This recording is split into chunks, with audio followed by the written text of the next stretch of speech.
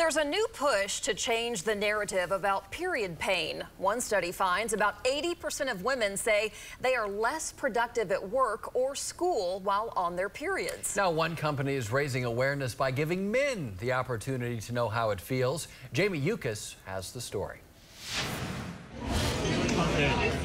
The pain can be debilitating. I can't not bend. But typically, period cramps go unnoticed by men. Yeah, no, how can you function like this? You can't. Until now.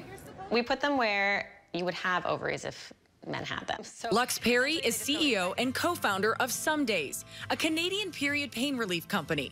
Their team brought their electric period pain simulator to this year's Calgary Stampede, where they managed to bring the toughest of cowboys to their knees.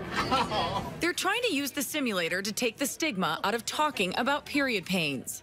the simulator and what Somedays is really trying to do is open up that conversation in a way that's not awkward. It's funny, it's lighthearted.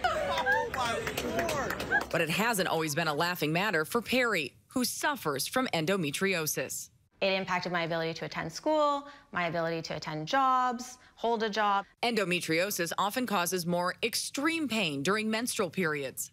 Endometriosis is regularly mistaken for period pain, which is just so absolutely absurd. Endometriosis is the thickening of tissue surrounding the uterus.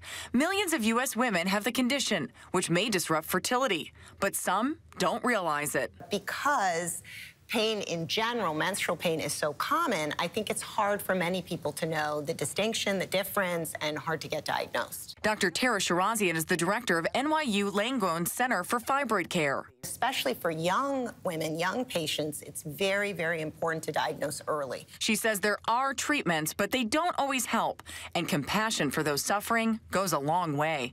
Jamie Yuccas, CBS News, New York.